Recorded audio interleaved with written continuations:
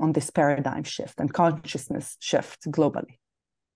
And it's not only hurting you guys here and probably going to elect Trump, uh, this, this divide, it's also hurting us. It's hurting us as uh, as people on the land, as community organizers, as you know, citizens who are actually trying, you know, who are doing the hard job of not just condemning reality, but actually changing it